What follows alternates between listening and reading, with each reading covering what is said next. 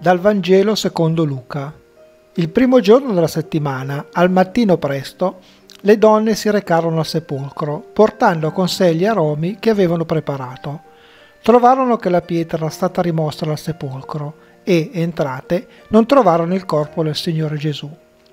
Mentre si domandavano che senso avesse tutto questo, ecco due uomini presentarsi a loro, in abito sfolgorante. Le donne, impaurite, tenevano il volto chinato a terra, ma quelli dissero loro, Perché cercate tra i morti colui che è vivo? Non è qui, è risorto. Ricordatevi come vi parlò quando era ancora in Galilea e diceva, Bisogna che il figlio dell'uomo sia consegnato in mano ai peccatori, sia crocefisso e risorga il terzo giorno. Ed esse si ricordarono delle sue parole e tornate dal sepolcro annunciarono tutto questo agli undici e a tutti gli altri. Erano Maria Maddalena, Giovanna e Maria madre di Giacomo. Anche le altre che erano con loro raccontavano queste cose agli apostoli. Quelle parole parvero loro come un maneggiamento e non credevano ad esse. Pietro tuttavia si alzò, corse al sepolcro e chinatosi vide soltanto i teli e tornò indietro pieno di stupore per l'accaduto. Cari amici, buona giornata. Questo è un giorno di silenzio. Addirittura non ci sono particolari celebrazioni liturgiche se non quella legata alla liturgia delle ore.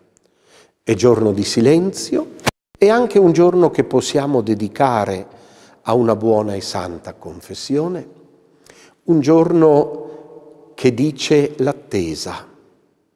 La terra arriva a far germogliare il suo Salvatore e la sua salvezza. Il chicco di grano posto sottoterra germoglia, cresce, manifesta la vita nuova.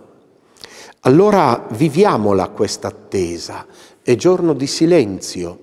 Nella Chiesa antica era giorno di digiuno, in particolare per coloro che poi avrebbero ricevuto i tre sacramenti dell'iniziazione cristiana durante la veglia pasquale.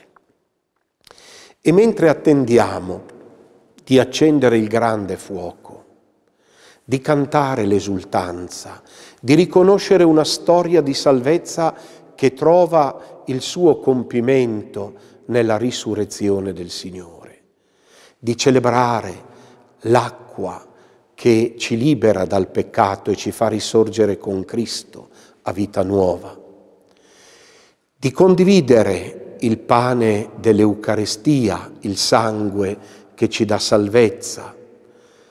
Mentre ci prepariamo a tutto questo vogliamo godere del silenzio. È giorno in cui si deve soprattutto tacere fermarsi e metterci davanti alla tomba di Gesù, al suo sepolcro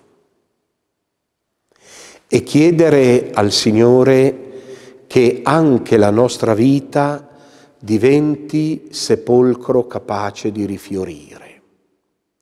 Altrimenti rimarremo sepolcro pieno di marciume e di ogni male.